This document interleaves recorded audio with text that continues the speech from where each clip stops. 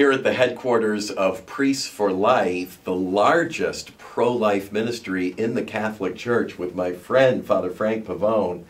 The friendship is the most important part. We're also allied in ministry. We share quarters in Washington, D.C. That's right. And Father Frank, I've been dying to ask you this question. Isn't every Catholic priest pro life? I mean, there's Priest for Life. Isn't every Catholic priest a priest for life? Well, we get asked that a lot, and we say, well, we just help them to say so. You know, it's one thing to be pro-life. I get it. The issue is, what are we doing about it? Why are we so silent? Let's do more. We can do more, and and in doing more, we win. And you are doing a lot at Priests for Life in a broad spectrum of both America, American life, and internationally. Mm-hmm.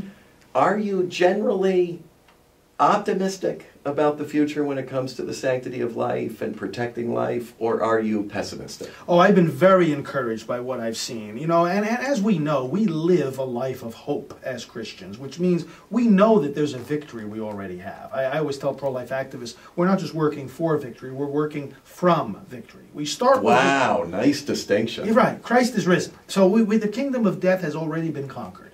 We're dealing with the after effects, if you will. And uh, so we start with that position of strong hope and confidence.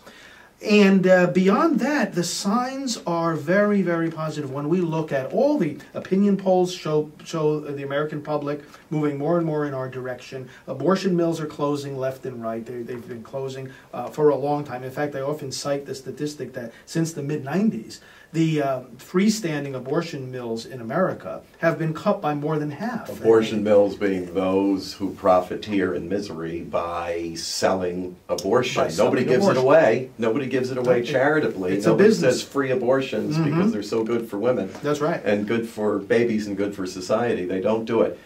Uh, So where do we go now? What, what's like, from your vantage point, which Mm-hmm. is a very good one, what's next? What, what should we be doing as pro-life people now? What we have to do is, is, is activate the very, very basic, simple things that we're all capable of doing, using more of the tools we have right at our fingertips, like, like uh, social networking and, and uh, emails. The churches and the pastors get up there and preach the word. We're, we're, we're working on developing more training and more of this going online as well, uh, as we've been discussing, uh, for people to get their information systematically. Uh, more and more resources are telling them exactly what they can do, promote the alternatives to abortion, promote the post-abortion. And this is all pastoral Uh, care. This yes. is caring for people. Exactly. This isn't uh, uh, advancing a political agenda. It's caring for people. And it's advancing the gospel and That's right. biblical principles which are good for living. They're part of God's plan and design for us. Father Frank, Thanks. it's always a joy to be with you. Thanks for your hospitality here. I don't have a studio like this, so this is really cool. Thanks. Good to be with you. Thanks.